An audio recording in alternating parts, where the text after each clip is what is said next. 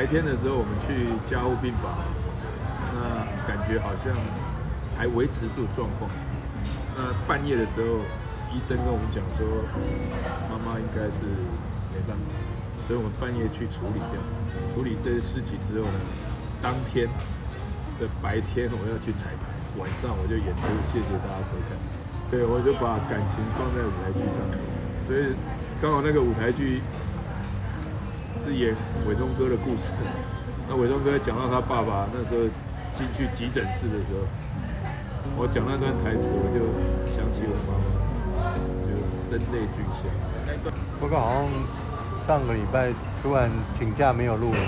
啊，对对对那个老太太那个，她是她是几几岁？八十六。他那个感染那个那个白血球身上白血球过高，哦哦哦，嗯，感染源没有办法去除，然后最后就败血症，然后，心脏衰竭，哦，过世。对，这次住院不过两个礼拜而已。哦，嗯，很突然。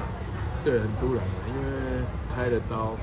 开了刀，状况又不错，那结果又第二天又急转直下。我觉得是身体的身体的机能器官已经负荷不了，心脏衰竭。对，其实它是截肢了，因为糖尿病它有个伤口，那伤口一直没有好，它就一直感染白血球。医生就说那先把它截肢，那截肢完手术出来都很好，还有说有笑，那我也觉得说放心了。就没想到又另外又肚子里面又有一些 什么胆结石，那边又是感染源的来源，可是又要开刀，又又发现他的岁数太高了，不宜动刀，但是不动刀，他有可能身体上面的细菌越来越多，就会败血症，所以我们还是让他动了刀，但是动了刀之后呢，就发现他的血压非常的低，就是心脏负荷不了。那我又刚好要演出那个，谢谢大家收看舞台剧。那我觉得妈妈妈妈还蛮贴心的，就是白天的时候我们去家务病房，那感觉好像还维持住状况。那半夜的时候，医生跟我们讲说，妈妈应该是没办法，所以我们半夜去处理掉。处理这些事情之后呢，当天的白天我要去彩排，晚上我就演出。谢谢大家收看。对，我就把感情放在舞台剧上面，所以。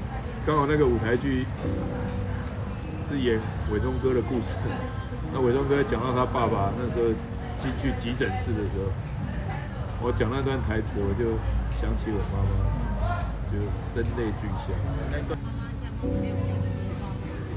很安详，我很感谢那个礼仪化妆师啊，他把妈妈画的，好像不像八十六岁，像五十岁左右。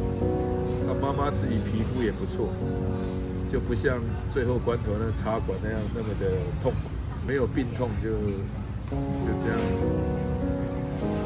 离开了，也也对他也是好。糖尿病是大概什么多久？是不是也？他其实糖尿病年轻的时候就有，阿妈就有，他就遗传，所以我为什么会这么运动？我也是希望说，如果我我也会被遗传到的话，希望他延后发病。